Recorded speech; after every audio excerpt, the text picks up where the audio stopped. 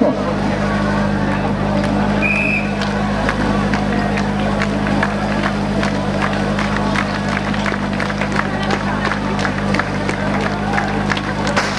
Takže pohybovský Bčko a i představení tady na dráze.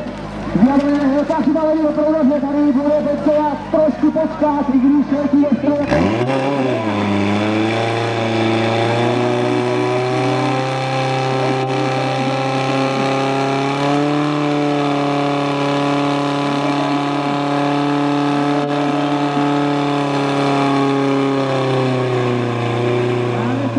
Mama, Mama,